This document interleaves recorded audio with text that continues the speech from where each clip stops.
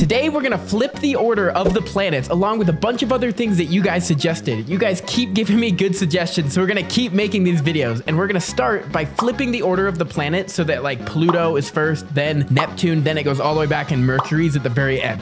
Okay, so here's our solar system right now. So you can see that Mercury's at the front and Pluto, where's Pluto? Pluto's all the way here at the back. So we're gonna switch them. So I think the best way to do this is gonna be to start a new simulation and just kind of rebuild it. Okay, so here's the sun. We'll put that in here. And then we're gonna start by putting Pluto really close. Pluto will put right there. That is very close to the sun. I think it'll actually start to burn up. We'll check on it again in a minute. Okay, then it's going to be Neptune. So Neptune we'll put about right here. Then Uranus like uh here. Okay, Saturn here. Uh, Jupiter's a little bit further than Earth is from the sun usually. And then there's a big gap here.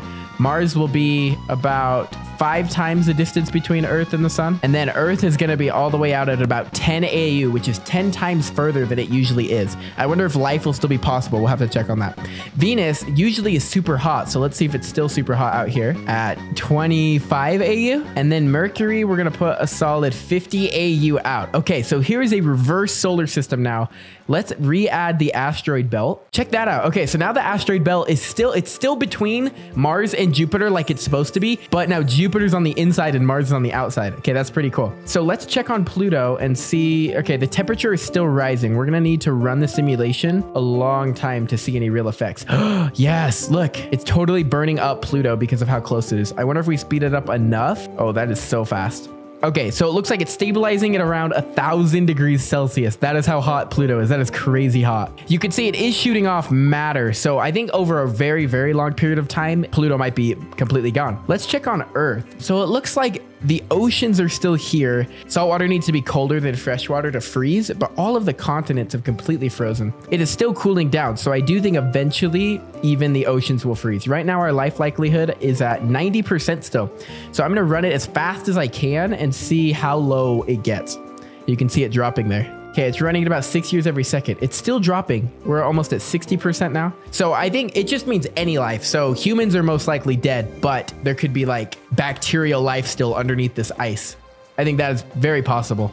Oh, and there it went to zero. Okay, so after a long, long time, after 330 years, all the life would be dead. So if this randomly happened, there is a good chance that maybe you could live the rest of your life and not die in like a bunker or something. It'd be interesting to see what to what extent humans would go to survive that. And let's see like is Neptune burning up or is it just far enough away? Oh, it is. Look at that. Neptune's got some orange bands it looks like, but it's really just fire on the planet. And Uranus too? No, Uranus looks good. Oh, there does look like there's some fragments. Most of the planets are okay. Pluto is not okay and the Earth is not okay. But the other planets, there's not much on them to be affected even. Like look at Mercury. It looks exactly the same except maybe your sunlight isn't as much. So that is the solar system in reverse order. Okay, our next suggestion says give the sun another asteroid belt but make it vertical. Okay, so we're actually going to use the same system here. So I cleared the old asteroid belt. Uh, so we still have our reverse system here and we're going to go to asteroid belt and then change our settings on it it and make it so it's vertical. Okay, so I think if we just, okay, let's add a really thick asteroid belt. Okay, so you can see it there. And I think if we rotate the sun, it'll actually rotate the entire asteroid belt too. So you can see it there in the background. Oh, no, no, I'm not trying to move it. Rotate. Oh, yeah, look, check that out. Okay, so if we just rotate, we can rotate the entire asteroid belt to be vertical. Okay, that looks awesome. Looks like a giant ring and I don't think this will really affect all that much, but that it looks like, whoa, you like go really far away. It almost looks like an eye right there in the center. And our next suggestion says make two random habitable planets collide in Universe Sandbox. So we're going to keep our system here and we're just going to collide them like out here in interstellar space between the stars. So let's get ourselves a random rocky planet. We're going to pause time really quick. Okay, we're going to put it pretty far out here so nothing really happens to it. Um, and we're going to have to quickly, we'll do a quick terraform on it. So this is a flashlight lighting. There's not enough light from any star to really light up here. If you put it in realistic mode, you can see that it's like pitch black. But we'll turn the flashlight on and then we will terraform it really quick. I'll add some water to it and put an atmosphere on it.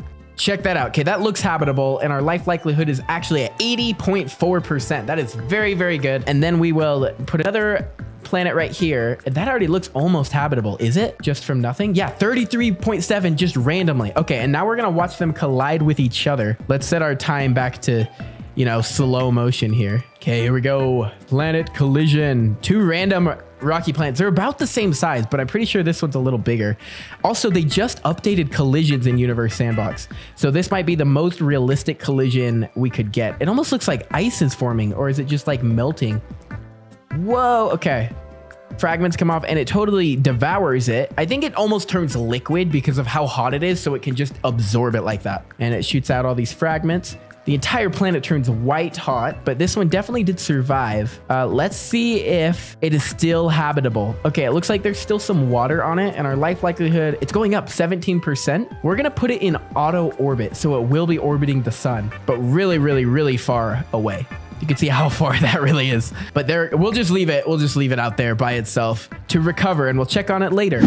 Back in the center of the solar system. And our next suggestion says, try to destroy the earth with only Tesla Roadsters. You can mess with the settings of the, of the Roadster, but you can't change what you're using. Okay, so our cold earth is now going to get a lot warmer because of the collisions we're about to put it through. So in Universe Sandbox, they have a object called a Tesla Roadster. And so we're going to try to destroy the Earth only using these objects. Okay, so we're going to launch the Tesla Roadster into the Earth, but we can change the settings on our Tesla Roadster. So we can make it very, very big. Just take that slider and drag it up. Okay, if I'm zoomed out enough to see the earth, I want to be able to see some of the size of this roadster. That's how big I want it to be. Perfect. See that? Okay, that's what I'm talking about. So let's set our time back to pretty slow and let's watch if, let's see if this is enough. I don't think it will be, but let's see if this Tesla Roadster can do something to our earth here.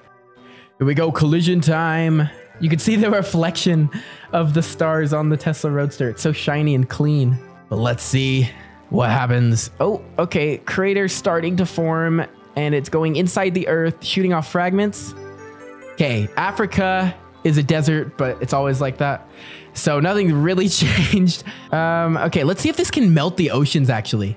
That'd be, that'd be cool. Whoa, it's working. Look, you could see certain areas where the water has melted from its ice state into it back to its liquid state. So let's speed up time and see the state of the earth after this. So it looks like anywhere where there was a collision uh, the water is melted or it's the water is completely burned off. And it looks like, whoa, the water. Okay, let's see if this helped the life likelihood because it was at zero. no way, it brought it back up to 43.7. So if you have a frozen earth, just throw a giant Tesla Roadster at it and that will help your chance of life. It's going up still. How high is it gonna go? It like heated up the core of it enough. It's going up to 80. Okay, okay, it's dropping now, but it almost got to 80% chance of life by throwing a Tesla Roadster at it. Look, the entire continent of South America is melted. Look, it's like there's more water. The earth seems more flooded. Yeah, because a lot of the continents are covered in water. Interesting. There's the giant ring. It looks like a portal. Okay, that is not destroyed yet. We need some more. This time we're definitely going to destroy it. Don't even worry. Okay, this has got to destroy it. Look at the size comparison between the Tesla Roadster and our Earth. It's like three times the size of the Earth. It has to destroy it. Oh, Oh, yep. It just absorbed the entire thing. And now our Tesla Roadster has the mass of more than one Earth. That's what it would take to destroy the Earth. Now, instead of the Earth, we have a giant Tesla Roadster orbiting in the Earth's place. Okay, our next suggestion says combine Venus and Mars and terraform the combination. Okay, where is Venus? Venus is here and Mars is here. So I think our best bet will be to combine Venus with Mars and then terraform that option. So we're actually just gonna delete the Venus that was here, go to our Mars, and then throw Venus at it and then make sure that it's still orbiting the Earth. And then we can terraform whatever is left. Not good things are about to happen to Mars. Oh yeah, okay. So Venus obviously just completely absorbs Mars because Venus is nearly, it's over three times the size of Mars. Okay, we'll speed up time and see how Venus looks after. Let's make sure Venus is in orbit. Okay, Venus is in orbit. Perfect. That means we can terraform it now. So let's wait for this to cool down before we start to terraform it. Okay, perfect. So it just looks like Venus still. Um, its atmosphere is way too thick still. We're gonna have to fix that. Atmosphere mass. We're just gonna make it the same as Earth. Oh, and look, you can start to see Venus's surface and the water. That probably came from Mars because Mars has Mars has a little bit of water on it. That's a beautiful planet though right there. I kind of like the personality that it has. So we're not just gonna make a copy of Earth with this. I'm just gonna add some water to it and call it good mostly. Whoa, it almost looks like it has the surface of Mars underneath the atmosphere. That almost looks like Mars. I think it is Venus still, but it's been shaped by the Mars that collided with it. Okay, let's add, so right now it has a 6% chance of life, which is honestly pretty good for everything it's been through.